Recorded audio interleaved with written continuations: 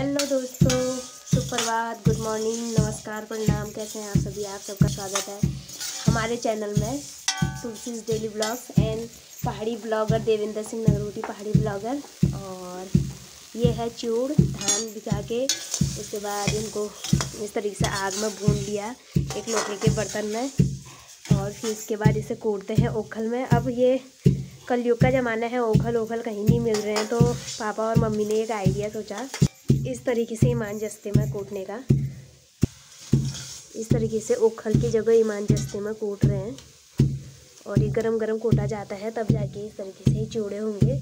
अपनी संस्कृति को बनाए रखना है इसलिए ये ज़रूरी होता है।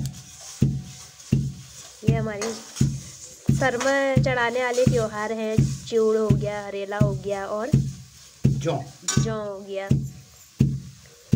जिससे बोलते जी रहा, जाग रहा, ये दिन मांस भेजना रहा करके। अपने त्योहारों को हम लोग बड़े दिलचस्पी से मनाते हैं, क्योंकि हमारी संस्कृति बने रहे, आगे को टीका चलते रहे। वही चीज़ करना है हमने जो हमारे बुज़ुर्गों ने चला रखे हैं।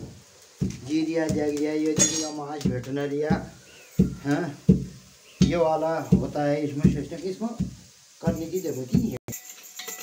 अब ये खिराई है खिराई खिराई दिया है मम्मी ने इसे का मतलब इसको पलटा दिया है जो नीचे हाँ। रह गया होगा उसको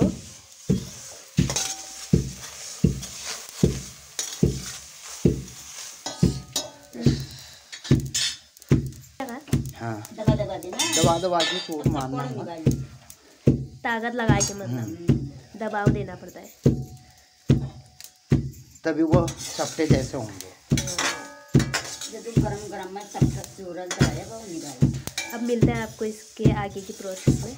को भी अड़ोसी पड़ोसी भाई बहनों को जहाँ जहाँ नहीं होता है इष्ट मित्र जो भी आने जाने वाले हैं उनको दिया जाता है।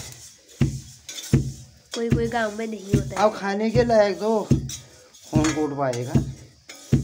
सर में चढ़ाने के सर में चढ़ाने के लिए त्योहार में देना पड़ता है इसलिए मंदिर में हाँ मंदिरों में चढ़ता है।